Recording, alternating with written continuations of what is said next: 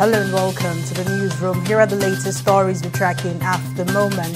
Ahead of the meeting between the federal government and the organized labor scheduled to be held on Monday, the Nigeria Labour Congress has said the government must meet its demand to cushion the effects of the fuel subsidy removal.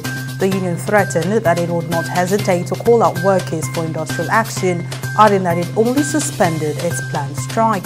The NLC says the high cost of fuel is inflicting unbearable hardship on Nigerians and the government must act fast with respect to providing palliatives, adding that it was expecting an increase in the minimum wage from 30,000 naira to 150,000 naira.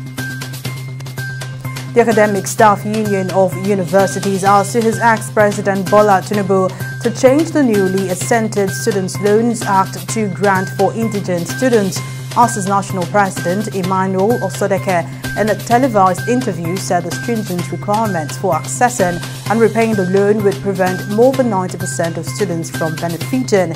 He added that if the funds are coming from the Federation account, it would be more appropriate to classify them as grants rather than loans.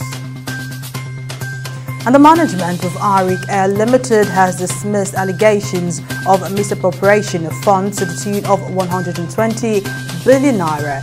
The Economic and Financial Crimes Commission had reportedly detained the receiver manager appointed by the Assets Management Corporation of Nigeria for Arik Air, Kamilu Omokide, over alleged misappropriation and diversion of about 120 billion naira. Reacting to the development, the airline described the report as false, saying it was nothing more than well-concocted lies and forms part of a deliberate campaign of calumny against the receiver manager.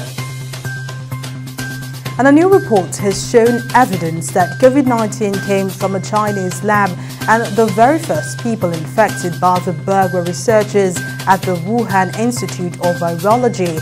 The report shows that three WIV scientists developed COVID-19 symptoms as early as November 2019, a month before the outbreak. The report also points blame at China for having waged the greatest cover-up in world history, which sparked the global pandemic behind nearly 7 million deaths and untold economic harm. And in business, the Central Bank of Nigeria has lifted the limits placed on domiciliary accounts.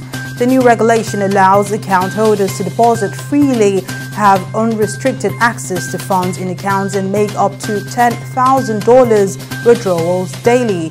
According to the CBN, the policy changes aim to promote transparency, liquidity and price discovery in the FX market in order to improve FX supply, discourage speculation and ensure overall stability in the FX market.